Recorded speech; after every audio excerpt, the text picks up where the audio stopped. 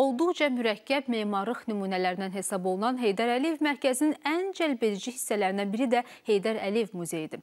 Dizaynı və burada tətbiq olunan yeni texnologiyaları ilə fərqlənən muzey Ulu Öndərin həyat və fəaliyyətinin müxtəlif dövrlərini əks etdirir. Burada Heydər Əliyevin həm Sovet hakimiyyəti dövründə, həm də müstəqillik illərində həyata keçirdiyi fəaliyyət konsepsiyasının müxtəlif aspektləri virtual formada təqdim edilir. Gəlin bu muzeyə birlikdə kiçik ekskursiya edək. Ümummilli lider Heydər Əliyevin adını daşıyan mərkəz, dünya memarlığının incilərindən sayılan bu mərkəz indi böyük şəxsiyyətin adını yaşadır. Mərkəzdə Heydər Əliyev irsinin araşdırılması və təbliği məqsədi ilə muzey fəaliyyət göstərir. Burada Heydər Əliyevin həm Sovet hakimiyyəti dövründə, həm də müstəqillik illərində həyata keçirdiyi fəaliyyət konsepsiyasının müxtəlif aspektləri virtual formada təqdim edilir. Diqqət çəkən cuşələrdən biri Ulu Öndərin Azərbaycana rəhbərlik etdiyi vaxtlarda istifadə etdiyi xidmət avtomobillərdir.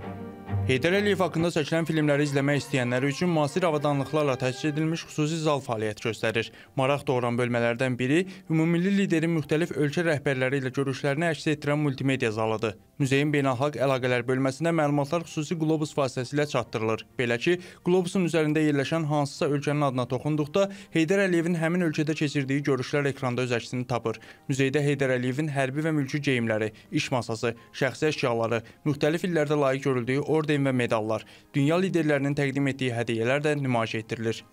Azərbaycan mənim ürəyimdir.